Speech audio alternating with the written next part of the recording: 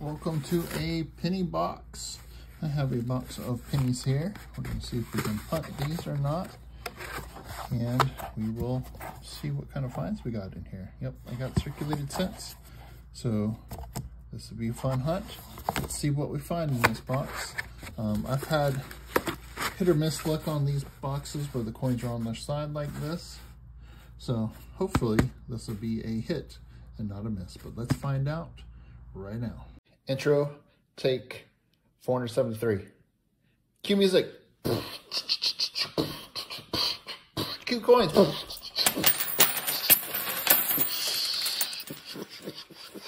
Yeah. All right. Awesome. Now pick them up. I'm not rich. We're on roll number two and uh, just poured it out. Noticed I had a wheat cent sticking out here. Let's take a look see what we got. Let's see, we got a 1942. Nice. First Wheatie in a second roll. Awesome.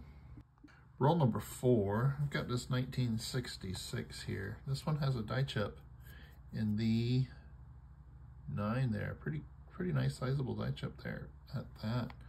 Um, I've never found one at 66 for before.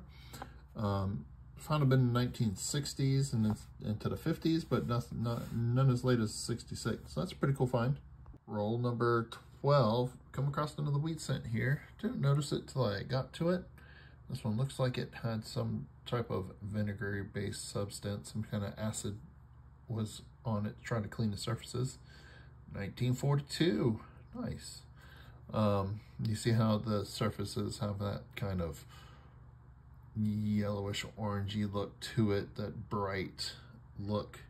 Um, so something cleaned it off and uh, altered the color of the surfaces there, definitely.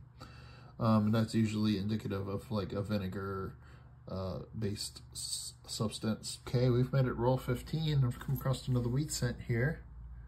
1957 out of Denver. How about that? That is another wheat cent one date away from the final year, but still counts as a Wheatie.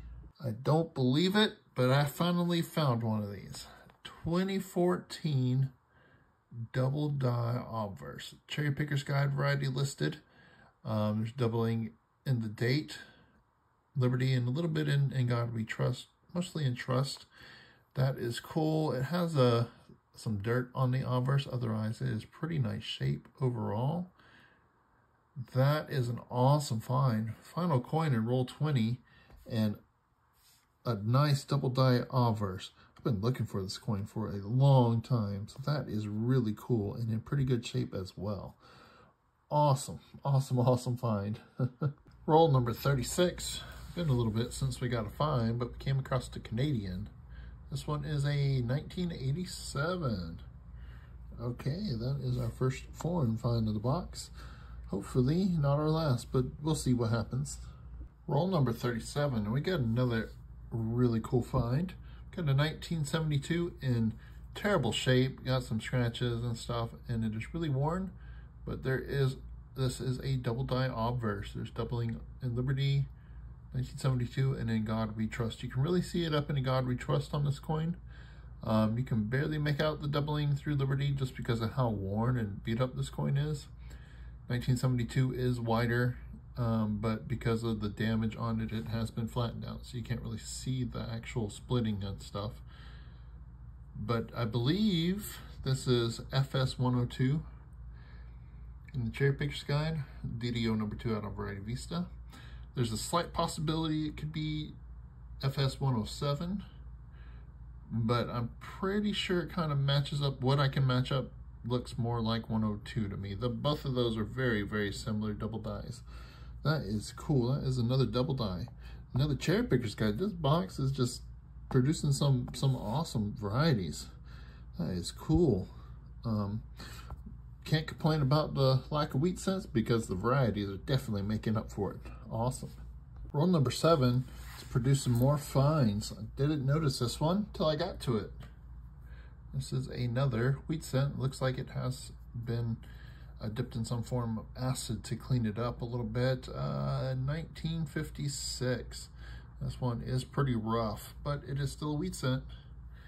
So that is pretty cool. I think it goes right there.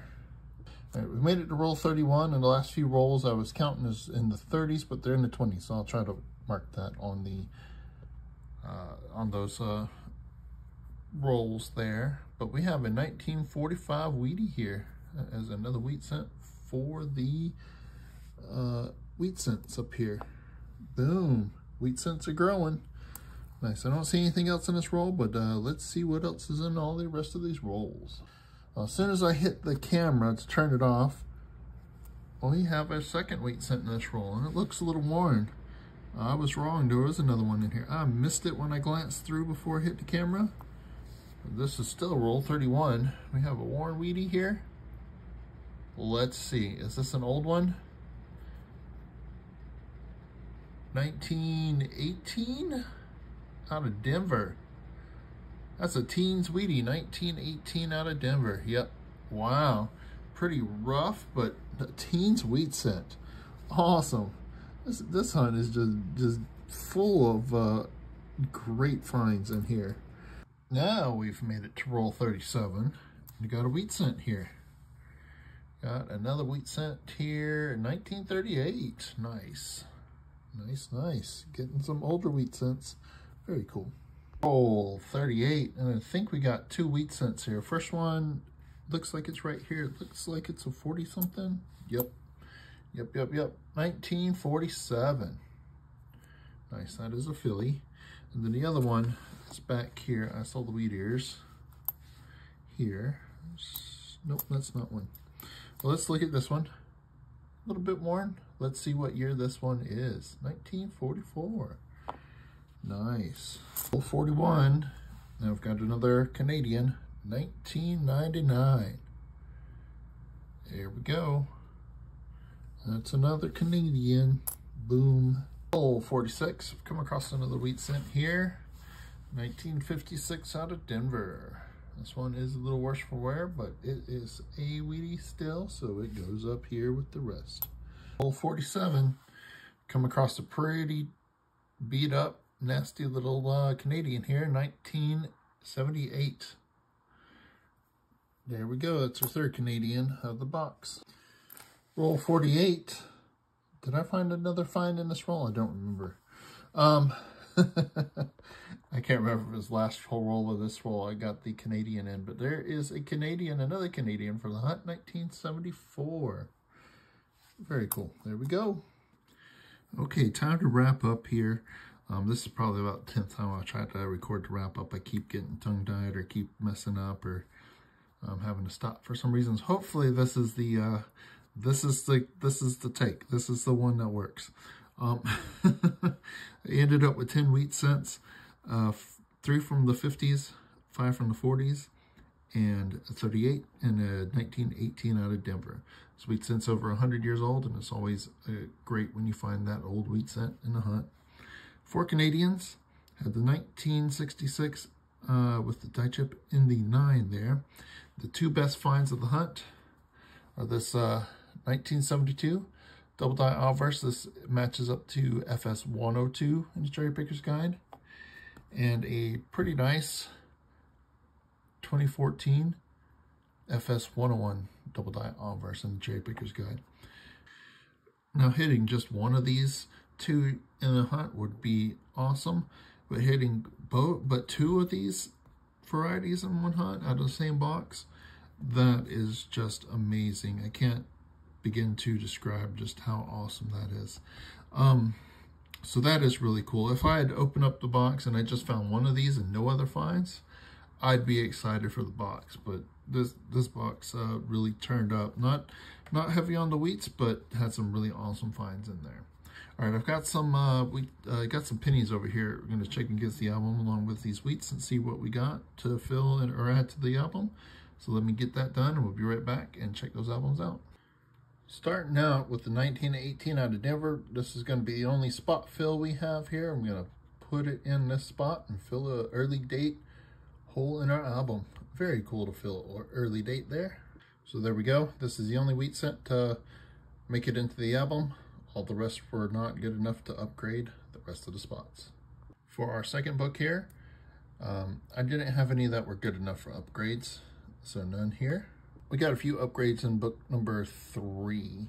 I've got a 2006 that is just a little bit cleaner than the one that's in there. Um, they are close, but I think I'm going to go ahead and upgrade this. I'm going to take a good look and decide before I do that, but in hand, this one does look a bit nicer than this one. Next up, I got a 2007 out, out of Denver. Just got a much cleaner, nicer example than the one that's in here. Um, it's only a slight upgrade, but I think I'm going to go ahead and switch that one out as well. And then I came across a really nice 2009 Professional Life out of Philly here that I'm going to switch out with this one. This one's pretty nice, but it does have some dirt and stuff on the surfaces. This one is just a bit cleaner, so I'm going to switch that out. So what an amazing hunt we had. Two awesome double dies, the 72 and the 2014. Um, I believe the 2014 is a little harder to come by, so that is amazing to come across one of those. Um, that is awesome find. Uh, for the albums, we filled up one spot, being the early wheat cent, the 1918 out of Denver. Then we had three spots filled in our in our last album, or upgraded. Three spots upgraded in our last album, if I can say it right. All right, um, so yeah, that was fun hunt. I do hope you enjoyed it. If you did, hit that thumbs up, helps me out. Drop a comment down below, let me know what you thought. Thank you very much for watching, everyone. Have a great day. And I want to give a very special thank you to all the viewers who have signed up as members. Thank you very much for going above and beyond to help support the channel. I very, very much appreciate it. If anyone is interested in becoming a member, feel free to check out the link below. Again, thank you very much for your support. Well, I do hope you enjoyed the video. If you click on that link right there, it'll help me out. And then I have a couple videos over here that is recommended. So if you would like to watch another one, I would definitely appreciate it. Thank you very much for watching, everyone. Have a great day.